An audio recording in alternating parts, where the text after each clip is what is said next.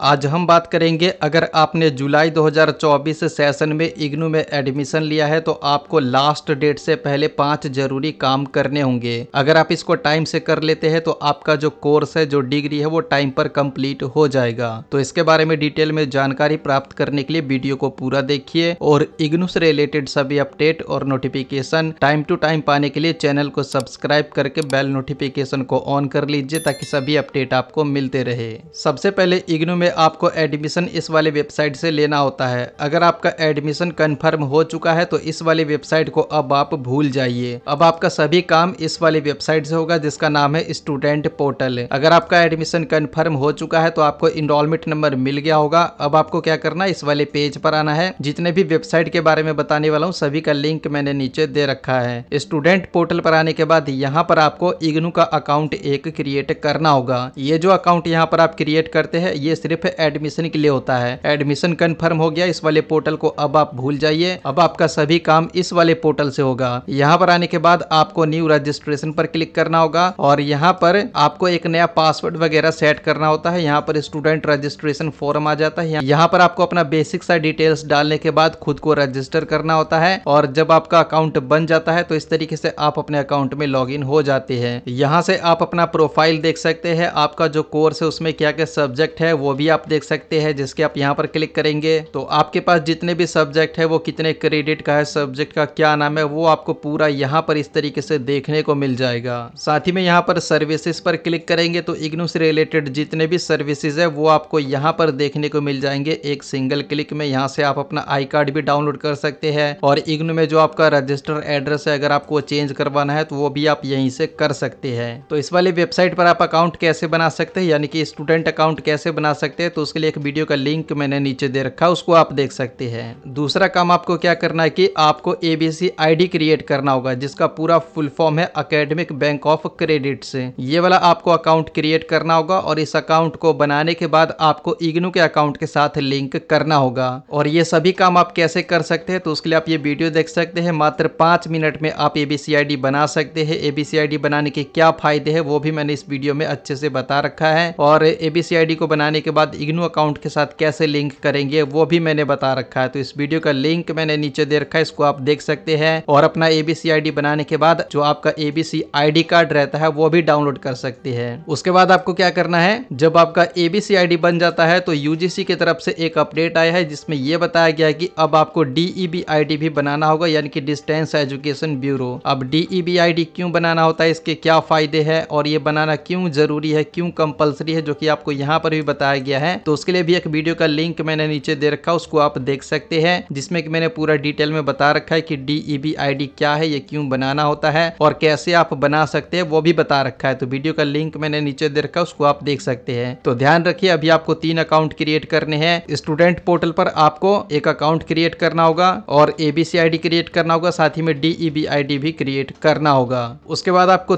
काम क्या करना है कि अगर आपने जुलाई 2024 सेशन में किसी भी सेमेस्टर बेस्ड प्रोग्राम में एडमिशन लिया है जैसे कि B C M C M B M com या फिर कोई दूसरा सेमेस्टर बेस्ड प्रोग्राम है, या फिर कोई छह महीने के सर्टिफिकेट कोर्स में एडमिशन लिया है, जैसे कि C L I S C D M और इसके अलावा और भी बहुत से प्रोग्राम है। तो अभी आपको क्या करना है कि फ़र्स्ट सेमेस्टर का आपको एग्ज़ाम देना होगा और एग्जामिनेशन फ़ीस जो है वो सबमिट हो रहे हैं। आपके दिसंबर में एग्ज़ाम होने वाले है, जिन्होंने भी जुलाई दो हज़ार चौबीस में सेमेस्टर बेस्ड प्रोग्राम प्रोग्राम में एडमिशन लिया है, या फिर छह महीने के सर्टिफिकेट कोर्स में एडमिशन लिया है तो आपको फ़र्स्ट सेमेस्टर का एग्ज़ाम और सर्टिफिकेट कोर्स का एग्ज़ाम दिसंबर में देना होगा और इसके लिए एग्ज़ाम फ़ीस सबमिट हो रहे हैं। अगर आप पंद्रह अक्टूबर के शाम के छह बजे तक एग्ज़ाम फ़ीस को सबमिट करते हैं तो आपका कोई भी लेट फ़ीस वगैरह नहीं लगेगा। जितना निर्धारित फ़ीस है, वही लगेगा। जैसे की थ्योरी सब्जेक्ट का पर सब्जेक्ट का दो सौ लगेगा। तो आपको लास्ट डेट से पहले दिसंबर सेशन का एग्ज़ाम देने के लिए एग्ज़ाम फ़ीस इस वाली वेबसाइट से सबमिट करना होगा। इस वाली वेबसाइट से आप एग्ज़ाम फ़ीस कैसे सबमिट करेंगे, उसके लिए भी एक वीडियो का लिंक मैंने नीचे दे रखा उसको आप देख सकते हैं। और इग्नू में ये भी रहता है कि आप जितने भी सब्जेक्ट का एग्ज़ाम देना चाहते हैं, पहले आपको उनका असाइनमेंट बना करके भी सबमिट करना होता है। तो जिन्होंने भी जुलाई 2024 सेशन में सेमेस्टर बेस्ड प्रोग्राम में एडमिशन लिया है, जिसकी बी सी एम सी और जिनका छह महीने का सर्टिफिकेट का कोर्स है तो आपके लिए इग्नू ने असाइनमेंट का क्वेश्चन पेपर भी वेबसाइट पर अपडेट कर दिया है 2024-25 सेशन का। तो यहाँ से आप असाइनमेंट का क्वेश्चन क्वेश्चन पेपर डाउनलोड कर सकते हैं और आप अपना असाइनमेंट बना करके लास्ट डेट से पहले सबमिट कर सकते हैं। असाइनमेंट जमा करने की लास्ट डेट है अभी तीस सितंबर 2024 लेकिन इसको एक्सटेंड किया जाएगा और आपको इकतीस अक्टूबर तक असाइनमेंट सबमिट करने का मौका दिया जाएगा। ये जो असाइनमेंट में क्वेश्चन दिए जाते हैं, इसी का आंसर आपको लिखना होता है। अगर आपको असाइनमेंट का आंसर नहीं मिल रहा है तो इस व्हाट्सएप नंबर पर आप हमारी टीम से कॉन्टेक्ट कर सकते हैं और असाइनमेंट का आंसर पीडीएफ फॉर्मेट में कम दामों में खरीद सकते हैं। ये जो